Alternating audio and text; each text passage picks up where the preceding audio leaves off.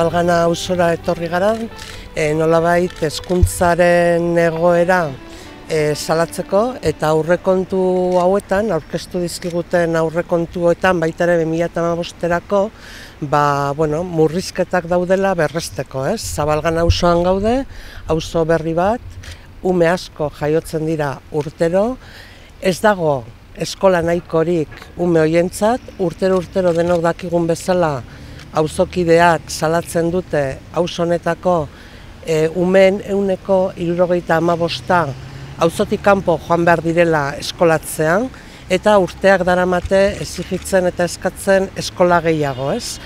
E, ikusten dugu aurrekontuetan berriro ere, naiz eta behin eta berriro esan, ez dagoela murrizketarik, guk berretsi nahi dugu murrizketak egon badaudela eta auzo hau horren lekukoa dela.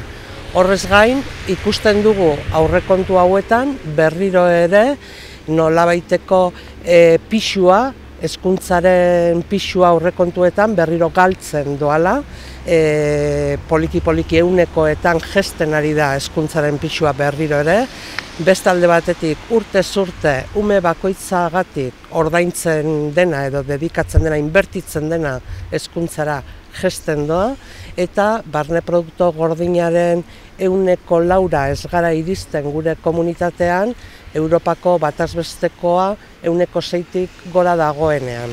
Beraz, iruditzen zaigu egoera kezkagarria dela, hezkuntzari dagokionez, eta horri gehitu behar zaio aurrezkolak patzuergoan adibidez, lau milioi gutxiago egongo direla edo daudela aurrekontuetan aurre ikusita datorren urterako.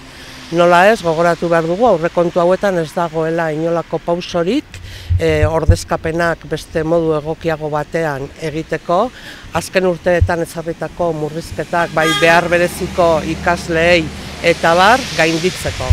Eta hori da gaur hemen e, esan nahi duguna. E, guk jarraituko dugula lanean murrizketari gabeko hezkuntzako aurrekontu batzuk defendatzen.